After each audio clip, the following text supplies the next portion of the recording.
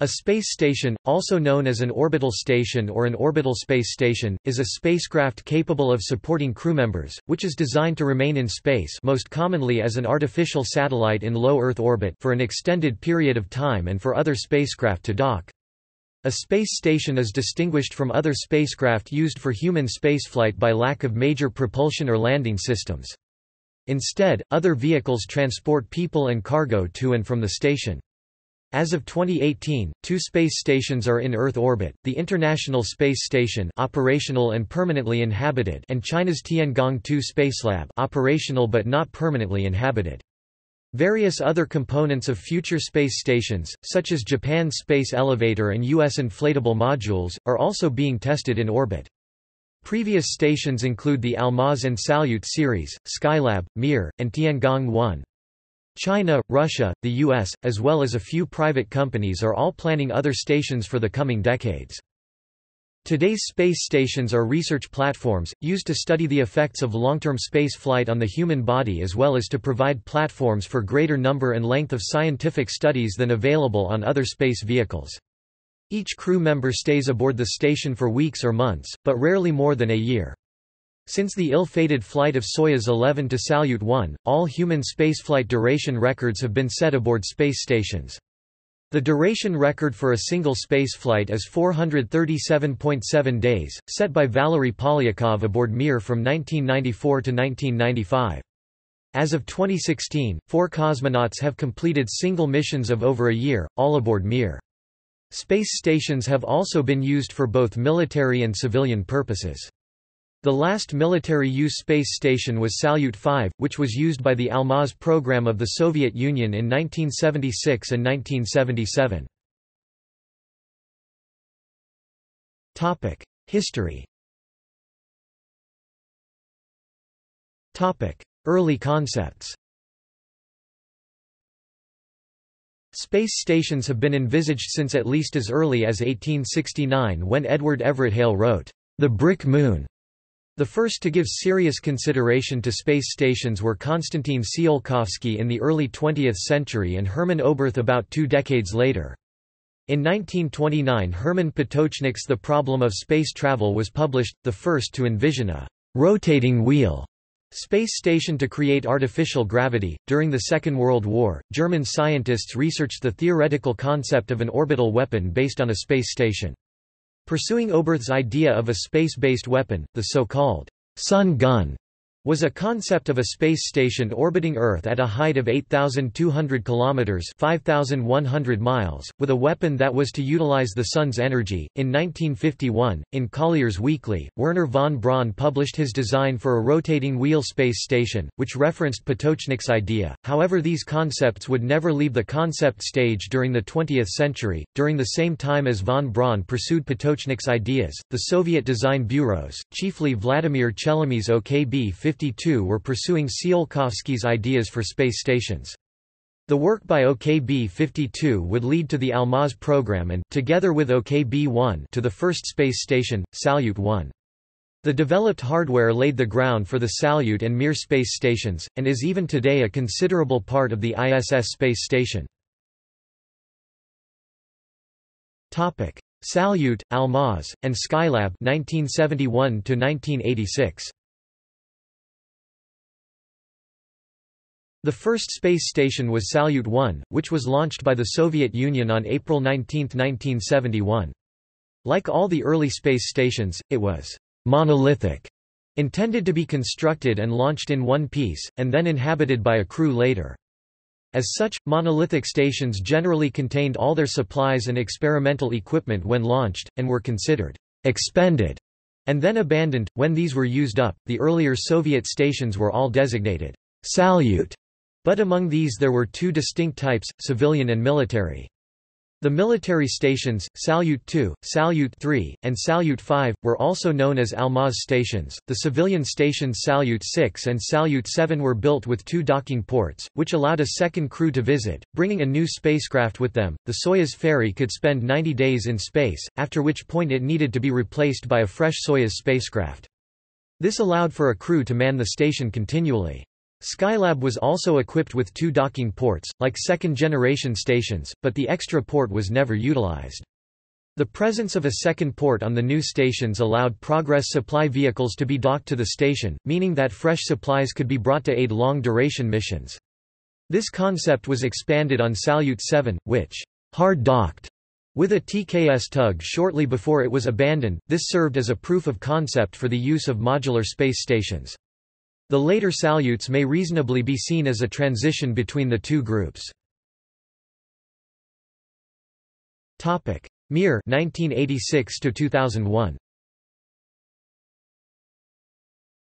Unlike previous stations, the Soviet space station Mir had a modular design, a core unit was launched, and additional modules, generally with a specific role, were later added to that.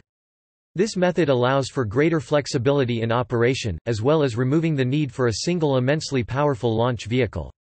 Modular stations are also designed from the outset to have their supplies provided by logistical support, which allows for a longer lifetime at the cost of requiring regular support launches. ISS 1998 present The first module of the International Space Station, Zarya, was launched in 1998. The ISS is divided into two main sections, the Russian Orbital Segment and the U.S. Orbital Segment USOS. USOS modules were brought to the station by the Space Shuttle and manually attached to the ISS by crews during EVAs. Connections are made manually for electrical power, data, propulsion and cooling fluids. This results in a single piece which is not designed for disassembly. The Russian orbital segments modules are able to launch, fly, and dock themselves without human intervention using Proton rockets. Connections are automatically made for power, data, and propulsion fluids and gases. The Russian approach would hypothetically allow the assembly of space stations orbiting other worlds in preparation for human missions. Russian modular or second generation space stations differ from monolithic single-piece stations by allowing reconfiguration of the station to suit changing needs. According to a 2009 report, RKK Energia considered removing some modules of the ROS when the end of mission is reached for the ISS to reuse them as parts of a new station, known as the Orbital Piloted Assembly and Experiment Complex. However, in September 2017 the head of Roscosmos said that the technical feasibility of separating the station to form OPSEK had been studied, and there were now no plans to separate the Russian segment from the ISS. Tiangong 2011 present. China's first space laboratory, Tiangong-1 was launched in September 2011. The uncrewed Shenzhou 8 then successfully performed an automatic rendezvous and docking in November 2011. The crewed Shenzhou 9 then docked with Tiangong 1 in June 2012, the crewed Shenzhou 10 in 2013. Tiangong 2 was launched in September 2016, a planned Tiangong 3 was merged with Tiangong 2 and therefore not ordered. In May 2017, China informed the United Nations Office for Outer Space Affairs that Tiangong-1's altitude was decaying and that it would soon re-enter the atmosphere and break up.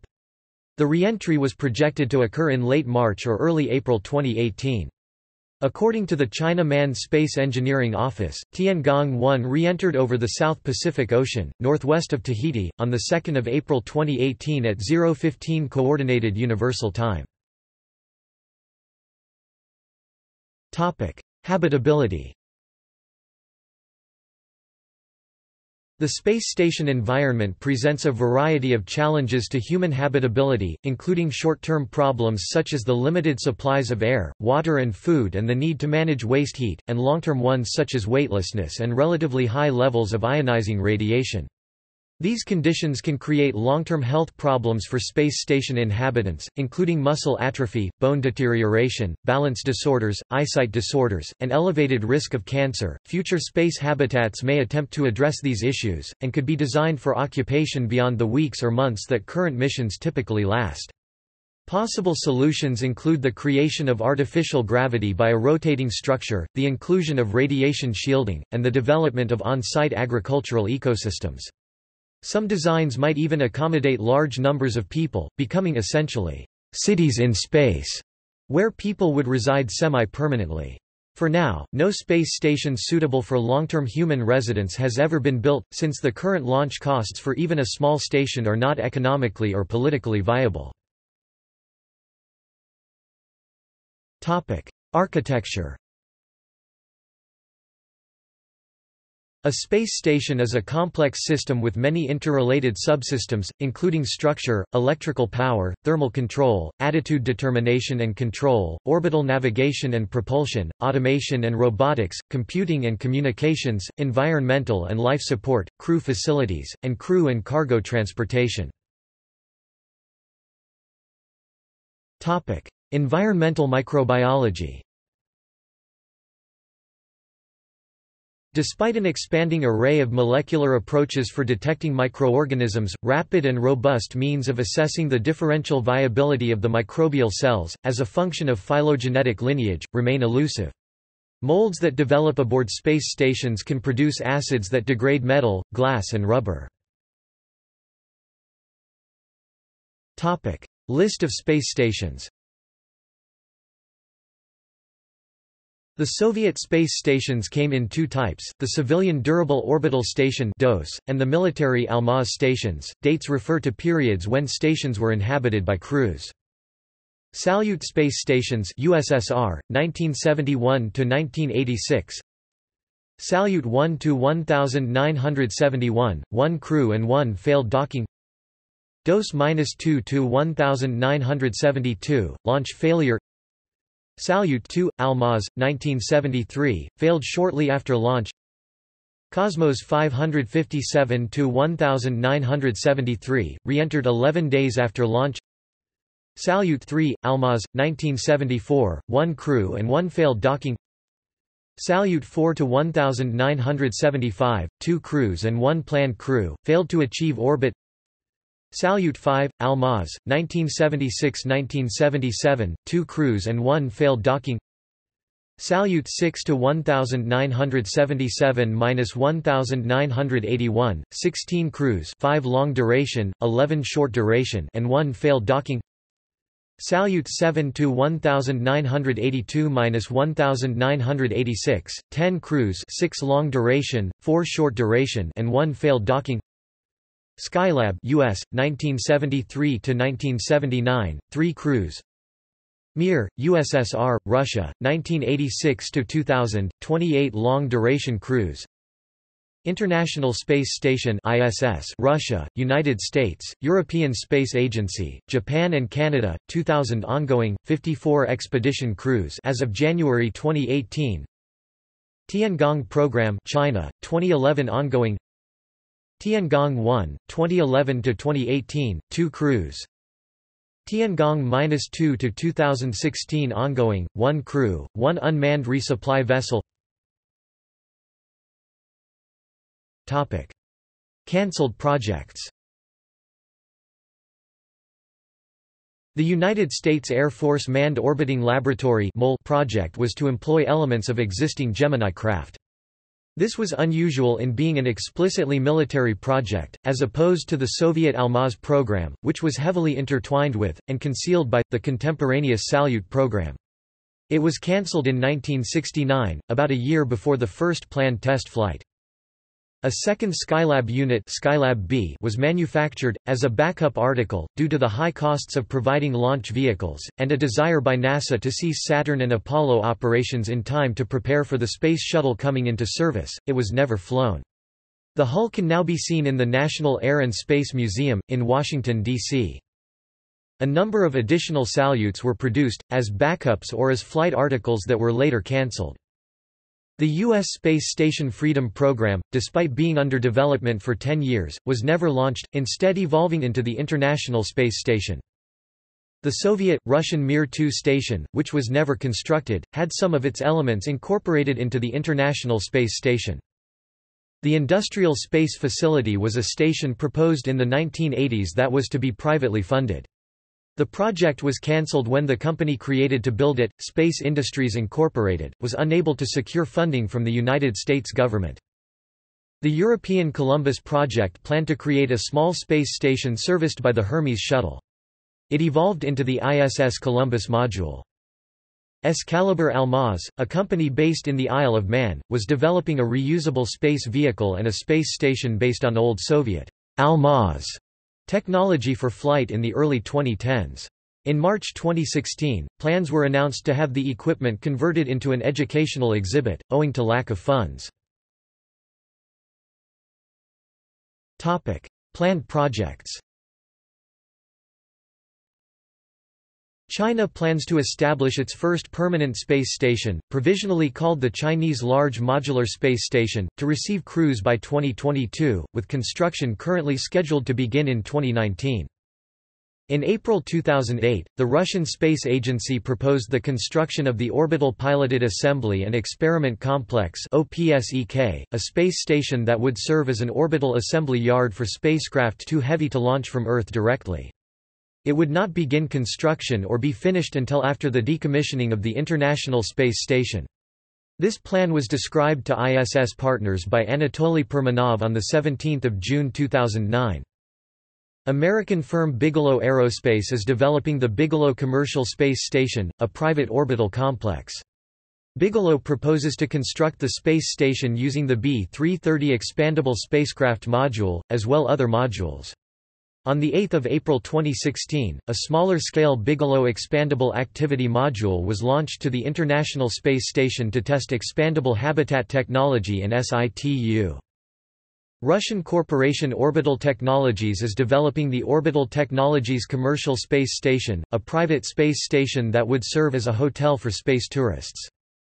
In December 2011 Boeing proposed an Exploration Gateway platform to be constructed at the ISS and relocated via space tug to an Earth-Moon Lagrange point EML-1 or 2.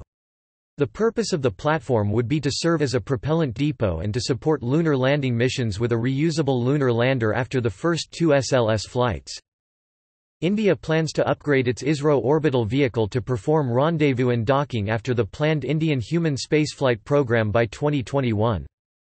Starting in 2015 NASA is developing Deep Space Habitats DSH under the Next Space Technologies for Exploration Partnerships Next Step for Beyond Earth Orbit BEO space stations and transfer vehicles.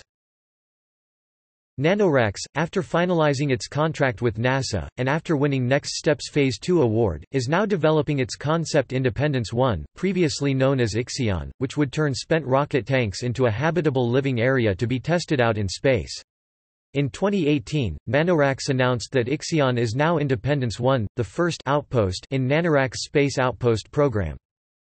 Lunar Orbital Station. Lunar Orbital Platform Gateway. Topic.